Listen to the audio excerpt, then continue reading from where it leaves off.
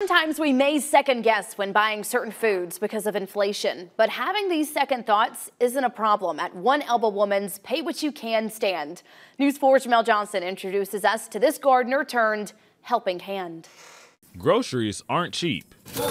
Price hikes have affected even the smallest of households. We don't have a very large family, but the grocery bill is still staggering. Even if you are working, it's still hard to make ends meet. Erin Worley, who's been known to have a green thumb, wanted to make a difference. Yeah, my nephew likes to make the. Thus came an inspiration to launch a food stand where people can take what they need Because I get out here. And pay what they can. I can't eat 100 eggs a day, you know?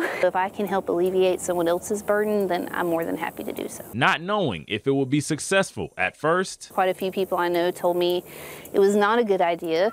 Uh, they were afraid that people would take advantage of it and rob me. those doubts were quickly proven wrong. People leave us messages in our box um, telling us how appreciative they are and how much how thankful they are for the quality of the goods and having this available. a stand that is very consumer friendly. It doesn't matter how much or how little.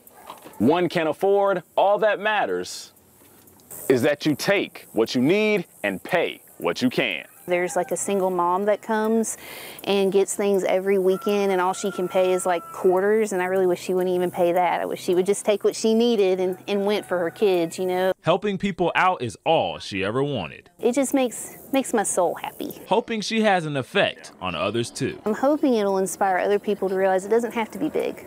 You can do something very small and it can make a huge difference in other people's lives. Making an impact one fruit, oh, I mean, I also did one veggie, and one egg at a time. In Elba, Jamel Johnson, your hometown news leader. All right, so that's usually kind of how it looks. Plus, Erin opens a stand on the weekends and she hopes to eventually open weekdays.